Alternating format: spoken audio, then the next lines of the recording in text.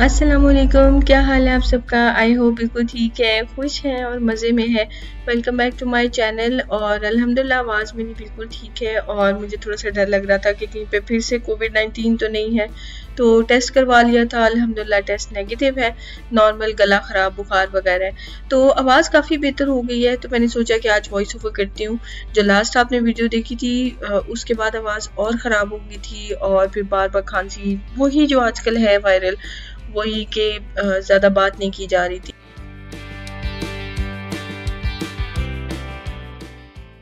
मेरी personal preference हमेशा यही रही है।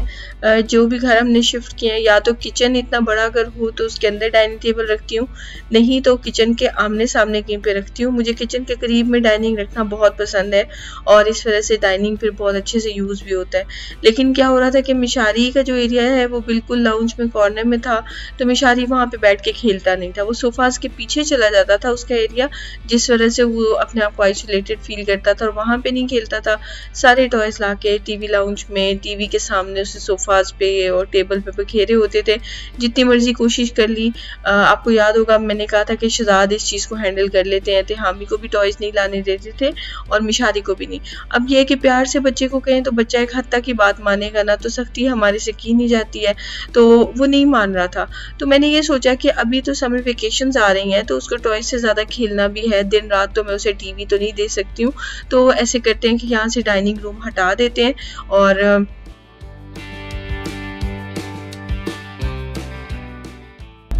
मिशारी का सारा सेटअप यहाँ पे लगा देते हैं प्लस मेरी कंप्यूटर टेबल भी यहाँ पे बफे टेबल वाली जगह पे आ जाएगी। इस तरह क्या होगा कि मैं अपना किचन में काम करती रहूँगी और मिशारी लोनली फील नहीं करेगा। मिशारी यहाँ पे खेलता रहेगा और मुझे लगता है कि इस तरह मैं भी मिशी के साथ ज़्यादा टाइम स्पेंड कर सकूँगी। और अभी ये सेट सेटअप रखे हुए हम एक दो दिन हो गए हैं। ऑलरेडी थे हमें भी इस चीज़ को इंजॉय करें यहाँ बैठ जाता अपना कोई ना कोई काम लेके तो वो भी करता रहता है। तो ये तो एक अच्छा सा मतलब फैमिली वाला एक कॉर्नर बन के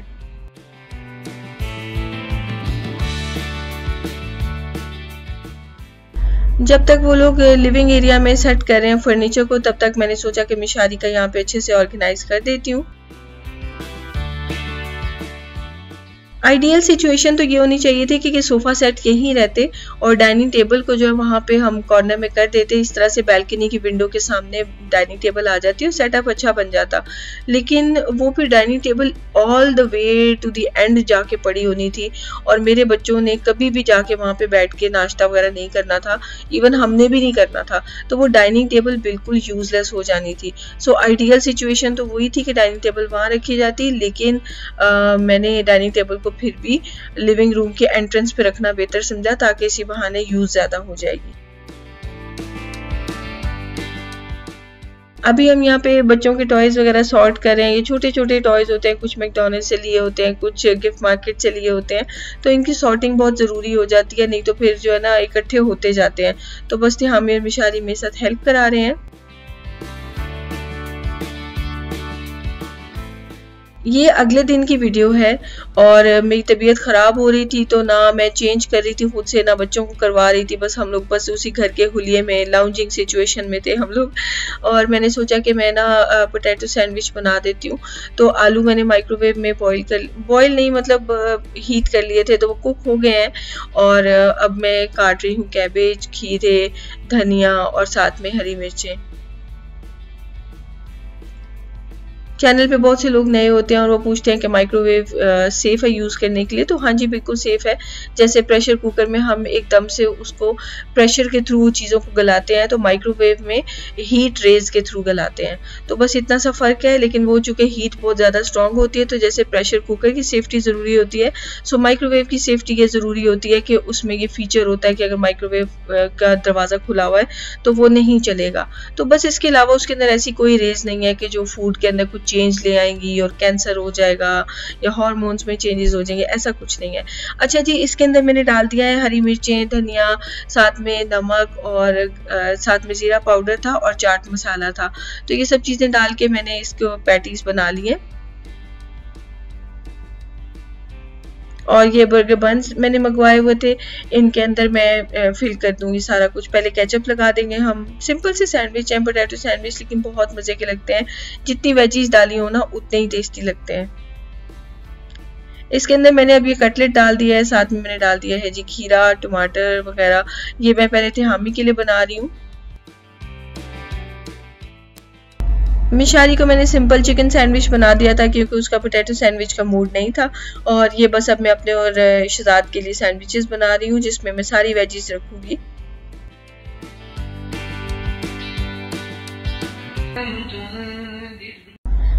मिशारी आजकल बहुत अच्छे से कुरान पाक की तिलावत सुनते हैं अपने इस कुरान रिसाइटर पे। ये मैंने तिहामी को गिफ्ट किया था, लेकिन मिशारी के काम आ रहा है। तो ये है जी हमारे स्टफ़ चिकन जो मैंने एक दिन पहले बनाया था जब शिफ्टिंग हो रही थी। तो मैंने शहजाद ने इकट्ठे खाना था और उसके बाद फिर नेक्स्ट डे हम लोगों ने इन्जॉय किया था इसको।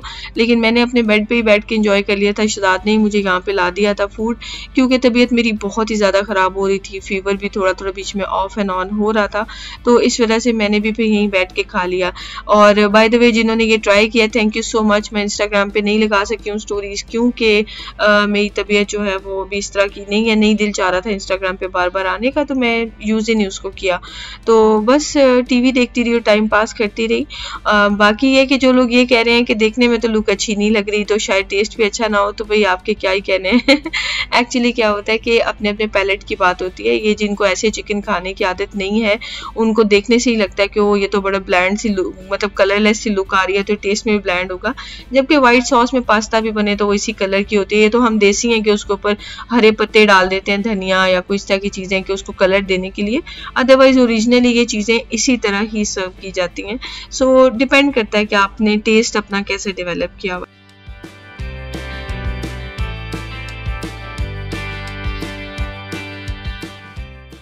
ये है हमारा डिनर का टाइम और कैसरोल मैंने चूँकि चिकन वाला एक ही बनाया था तो वो माशाल्लाह से ख़त्म हो गया था। तो फिर इस वजह से शाम में मैंने सोचा कि मैगी बना लेती हूँ भी जाएगी कि बाहर से जाके खाना है या कुछ मंगवाना है। तो मैगी है घर पे तो बना लेते हैं और उसके बाद फिर खा के हम लोगों ने चले जाना था बकरी वगैरह देखने के लिए। तो शदाद को तो भूख नहीं थी, उन्होंने तो काफ़ी मतलब माशाला खाया था क्वान्टिटी में तो वो फुल थे। तो मैंने अपने और बच्चों के लिए फिर मैगी बना ली। और साथ में एक एक कैरेट भी रखती थी और काटने की हिम्मत नहीं थी। शराब तो कहते हेल्प कराऊँ बट मैंने कहा जल्दी जल्दी हो जाएगा। तो बस हम लोगों ने फिर मैगी खा ली और हम लोग निकल पड़े। तो जनाब अभी हम चल पड़े हैं बकरा मंडी। एक दुबई में भी है और अजमान में भी है। हमने अजमान वाली चूज़ की क्योंकि हमारे ख्याल में दुबई में काफ़ी रश होगा। सो यहाँ पे हम गए। अभी तो जस्ट देखने गए थे लेकिन शदाद को बकरे पसंद आ गए तो शदाद ने फिर परचेज़ भी कर लिए तो मिशारी तहामी बहुत एक्साइटेड थे। मैं तो खैर कार में बैठी थी क्योंकि मेरी तबीयत ख़राब थी। और आ, पिछले साल पाकिस्तान में हमने बकरा ईद की थी सो वहाँ पे कुर्बानी वगैरह की थी लेकिन वो मैं ज़ाहिर फैमिली की वजह से शेयर नहीं कर सकी। यहाँ पे अब हैं हम हैं तो यहाँ पे कुर्बानी करेंगे। बाहर रहने वाले बच्चों का वैसे ये भी होता है कि हर तरह की चीज़ वो देख लेते हैं कि फैमिली में कुर्बानी कैसे होती है और इंडिविजुअल करनी हो तो वो कैसे होती है। तो अब यहाँ की आपको जी स्टोरी बताते हैं। यहाँ पे बकरे के कान में ना एक मतलब परमानेंट उन्होंने फिक्स किया होता है टोकन नंबर और फिर इस तरह से मतलब आपको पता होता है कि ये बकरा आपका वो टोकन नंबर हट नहीं सकता। तो हमने जो बकरे ख़रीदे थे उनको फिर अब शिफ्ट कर दिया जाएगा इनके फार्म हाउस में क्योंकि अब ये फॉर सेल नहीं रहे हैं। और वहीं पे ये खाएँ पियेंगे और उसके बाद फिर कुर्बानी वाले दिन की कुर्बानी की जाएगी इन तो अल्लाह से दुआ है कि सबके जानवर ठीक हेल्दी रहें सेहतमंद रहें और कुर्बानी ये देखे शदात के करें और अल्लाह ताला सबकी कुर्बानियाँ कबूल फरमाएँ। बहरहाल यहाँ पे नई घरों में नहीं रख सकते। अगर आई थिंक विला हो तो शायद रख सकते हैं। मैं बिल्कुल नहीं हूँ यहाँ पे तो सऊदी अरब में तो विला में रख सकते थे। यहाँ का मुझे कोई आइडिया नहीं है। खैर तो ये रिमूवेबल स्प्रे पेंट है और बजाय फेस पे करवाने के शदाद ने दोनों कपड़ों पे एन लिख दिया था। शदाद और शदाद की हरकतें। तो खैर जी आ, बाकी जब कुर्बानी वगैरह करवानी है तो उसकी डिटेल खुद ही आपको हम बताएँगे शदाद जाएँगे और जाकर खुद कुर्बानी करवा के आएँगे। तो हर स्टेप पे आपसे इंशाल्लाह वो इन्फॉर्मेशन भी हम शेयर करेंगे। इंटरेस्टिंग होगा। पहली बार देखते हैं यूए की कुर्बानी कैसी रहती है। तो चलें जी वीडियो को मैं एंड करती हूँ। आपसे मिलते हैं नेक्स्ट वीडियो में। टेक केयर अल्लाह हाफिज़ और अभी सुनते हैं कि शदाद आगे की स्टोरी क्या बताएँगे। फजर पे आ जाऊँगा मैं इधर ही। ठीक है। फजर पे आके पढ़ के इधर से साथ ही जो है ना हाँ। तो नमाज़ के नमाज़ ईद के बाद ही इसके साथ ही उधर है। हम्म। मसलक है जो तो वहाँ पे भी टर्न लगेगी आपकी। वहाँ रिसीट देंगे ना। अच्छा। हाँ जी तो वहाँ से जो है थर्टी दिरम चार्ज करते हैं। हम्म। वो स्टैंडर्ड रेट है गवर्नमेंट का। तो बस बकरे देंगे और करवा लेंगे। अच्छा। वहाँ फोर पीस कर देगा फिर मैं वहाँ से पकड़ के पीछे जो है यहाँ पर इधर। अच्छा। मार्केट जो है वहाँ मार्केट में है ना? हाँ। वहाँ दे दूँगा वहाँ बीस दिन देके मशीन से पीस करवा लूँगा। अच्छा अच्छा ऐसे है। Okay okay. ये चीज़ है। हम्म।